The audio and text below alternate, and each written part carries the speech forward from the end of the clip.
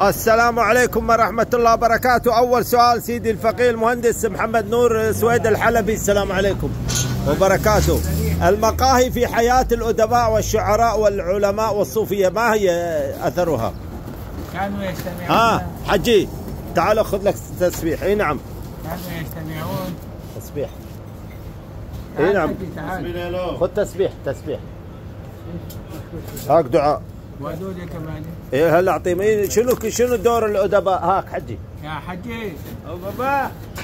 شنو دور الأدباء والقهاوي؟ كانوا يلتقون.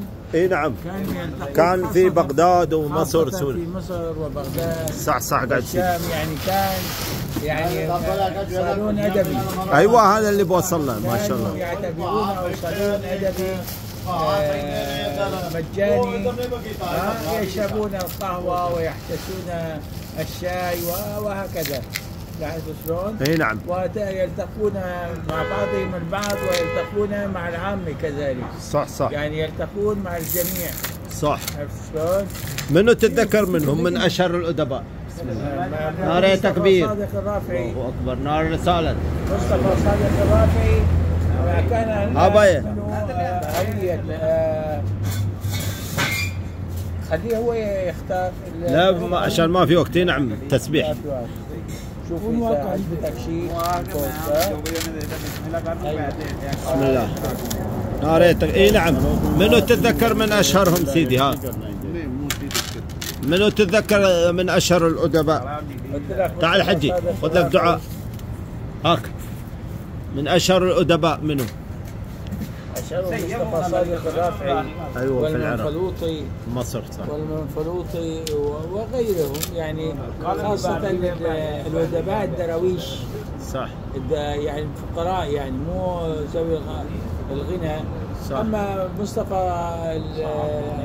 أما محمود العقاد طه حسين. ها؟ هذا مال بابا بابا سيد يوسف الرفاعي. هذا صلاة على النبي. ودي بيت هذا. كل يوم دور شريف هذا. آه ها درود شريف ها. نار تكبير. الله أكبر نار رسالة. بالبركة أما الأغنياء كان في بيوتهم مثل العقاد كان صالون الأدبي صالون حلو. الجمعة.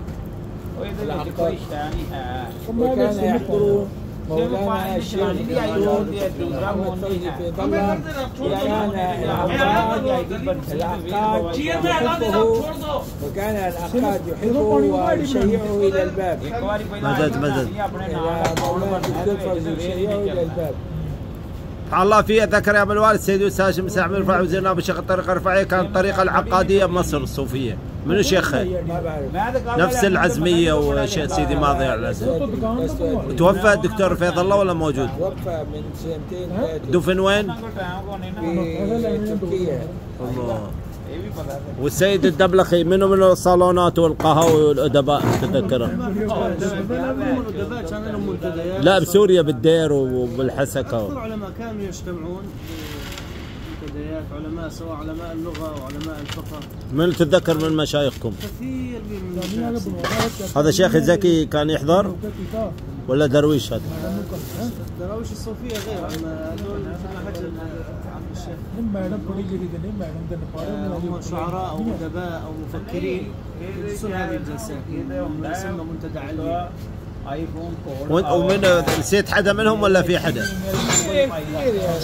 لكن لا اذكر لا لا أحفظ. شكرا سيدي. أهلا وسهلا.